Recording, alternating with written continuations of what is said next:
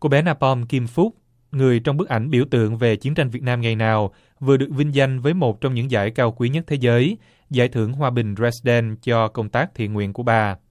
bà phúc hiện sống ở canada, là người sáng lập quỹ kim phúc, một tổ chức chuyên hỗ trợ các tổ chức quốc tế để trợ giúp y tế miễn phí cho các nạn nhân của chiến tranh và khủng bố trên thế giới bà được trao tặng giải hòa bình dresden hôm thứ hai, mười một tháng 2 về các nỗ lực không mệt mỏi để giúp trẻ em bị thương trong chiến tranh sau khi trở thành những tiếng nói cổ vũ cho hòa bình, chống lại bạo lực và hận thù, được cộng đồng quốc tế chú ý nhất. Lễ trao giải diễn ra tại nhà hát Semperoper ở thành phố Dresden, bang Sachsen miền đông nước Đức. Giải hòa bình Dresden là một giải thưởng hàng năm được lập ra từ năm 2010 giải này được thành lập để nhắc nhở về số phận của thành phố Dresden. Giải này đi kèm với món tiền thưởng 10.000 euro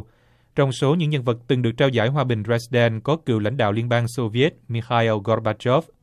Bà Kim Phúc là một đại sứ thiện chí của UNESCO, Tổ chức Giáo dục Khoa học và Văn hóa Liên Hiệp Quốc.